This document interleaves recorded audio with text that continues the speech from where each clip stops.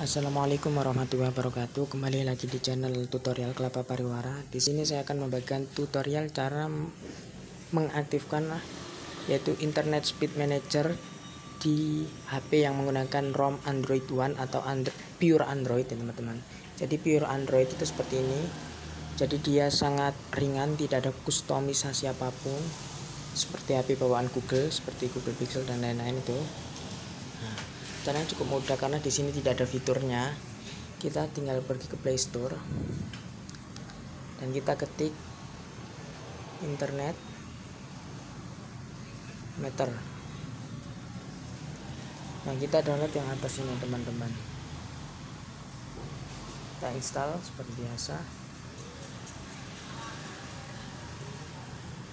Cukup ringan ya teman-teman. Cuma 1 MB terus kita buka. Nah dia otomatis di atas ini akan dia otomatis di atas akan nyala ya teman-teman. Bila kita hapus dari background dia akan tetap berjalan di background.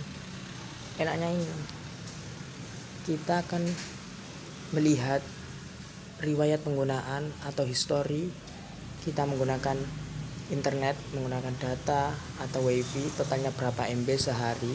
Nah nanti akan di total berapa satu bulan itu kita menghabiskan berapa megabyte atau berapa gigabyte internet yang kita gunakan selama satu bulan.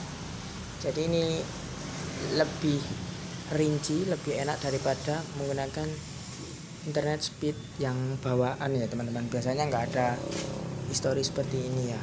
Jadi buat kalian yang mungkin butuh sekali story seperti ini atau HP-nya tidak ada internet speed meternya bisa mendownload aplikasi ini. Oke sekian tutorial kali ini. Semoga bermanfaat. Sekian. Wassalamualaikum warahmatullahi wabarakatuh